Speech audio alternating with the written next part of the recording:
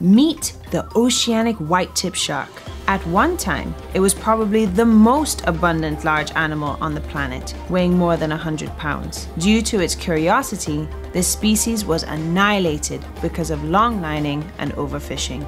The population is thought to have plummeted more than 99%. As the name suggests, oceanic whitetips live in the deep ocean. Their long, wing-like pectoral fins allow them to save energy by cruising the currents. These large fins also make them popular for the shark fin trade.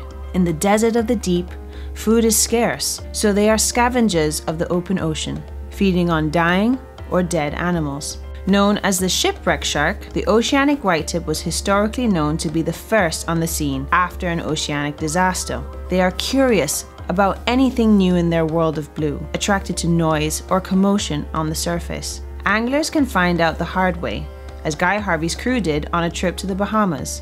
This shark is somewhat copper in colour and prefers relatively warmer waters of between 68 and 82 degrees.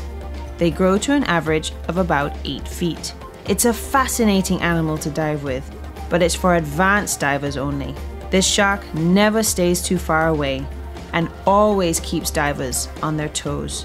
It's a shark that may seem a bit scary, but the ocean would be much scarier without them. I'm Jessica Harvey for the Guy Harvey Ocean Foundation.